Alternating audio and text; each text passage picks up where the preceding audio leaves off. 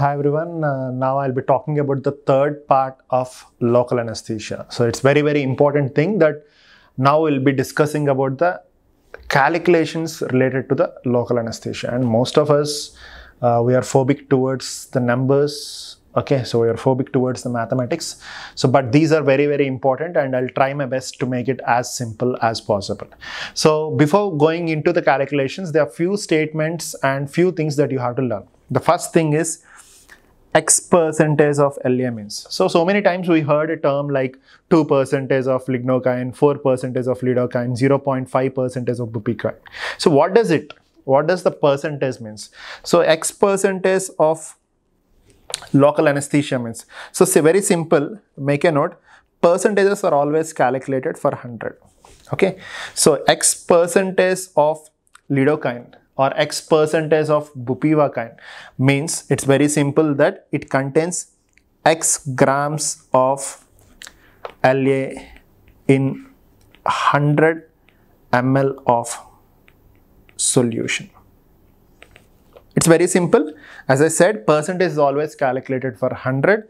X percentage means X grams of LA in 100 ml of solution. So this is the first thing that you have to make a note. Most of the times you will find this percentage. What is percentage means?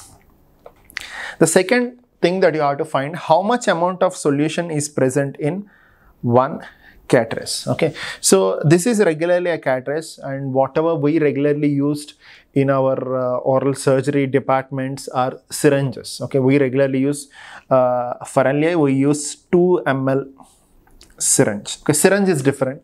Okay, cartridge is different, but cartridges will contain 1.8 ml. So in most of the situation, okay, so they can ask you cartridge or in Indian scenarios, they can ask you the syringes. So it's going to be somewhere around 1.8 ml or the 2 ml. Okay, so I hope you're you're very clear with the amount of solution that is present in one cartridge and amount of solution that is present in one syringe. The third important, okay, this is how the questions will be. So how much lignocaine is present in 2 ml of 2 percentage of lidocaine solution. So we have learned X percentage means X grams in 100 ml. Okay. Now it is 2 percentage. 2 percentage means 2 grams in 100 ml okay. So what happens if it is 1 ml according to the mathematics in the same solution it's going to contain 0.02 grams. But it is clearly given how much present in 2 ml so it's going to be 2 ml it's going to be 0.04 grams. Or if you convert that grams into milligrams it's going to be 40 milligrams. So the answer is a for this particular question. So similarly they can ask how much amount of lidocaine is present in one cartridge one cartridge of 2 percentage of lidocaine. So one cartridge will almost contain the same either it is 1.8 ml or you can consider it as 2, 2 ml on the options. So the question is the same, the answer is same that is it contains how much amount of lidocaine is present in one cartridge or how much amount of lidocaine is present in 2 ml 2 percentage of solution. I hope you're very, very clear with the first part. The first part clearly says that X percentage. What is X percentage means? X grams of local anesthesia is present in 100 ml of solution. Okay, then how much amount of solution is present in the cartridge? It is 1.8. So X grams in 100 ml. Okay, then how much amount of solution is present in one cartridge is how much amount in 2 ml. 100 ml having x grams. 2 ml is how much is the question. So that is the first level. The second level, the maximum dosage of local anesthesia with adrenaline and without adrenaline is again the most commonly asked questions. For example, if it is without adrenaline, then it is 4.4 milligrams per kg body weight. If it is with adrenaline, it is 7 milligrams per kg body weight. Now the questions can be, it's very clear, like they're asking per body weight, per kg body weight. So they can ask you for 40 kgs male or something like that. So what you have to do is, if it is with adrenaline, you have to multiply 7 into 40, it's going to be 280 milligrams. Okay, this is the question. The maximum dosage of local anesthesia with adrenaline in a 40 kgs male is. So 1 kg we have learned it is 7 milligrams per 1 kg. Now it is 40 gauges. So 7 into 40, it is 280 milligrams is the answer. So this is the maximum amount of local anesthesia with adrenaline that can be given to this particular individual who has entered the department. Next one, maximum acceptable doses of adrenaline maximum acceptable doses of adrenaline for a normal patient and maximum accept acceptable doses of adrenaline for a cardiac patient. If it is normal patient, it is 0.2 milligrams. If it is cardiac patient, it is 0.4 milligrams. Again, these are the most commonly asked direct single liners for you. With in a normal patient is 0.2 milligrams. In a cardiac patient is 0.04 milligrams. This is the maximum that you can give to the particular patient.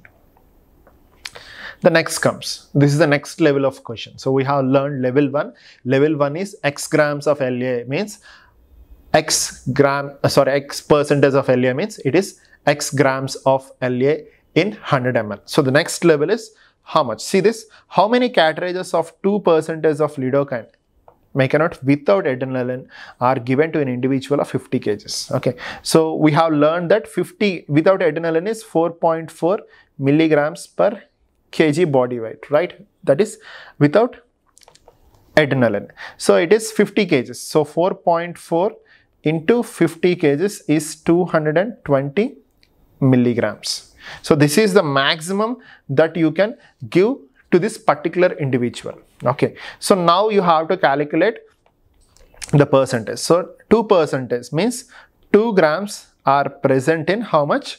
Are present in 100 ml.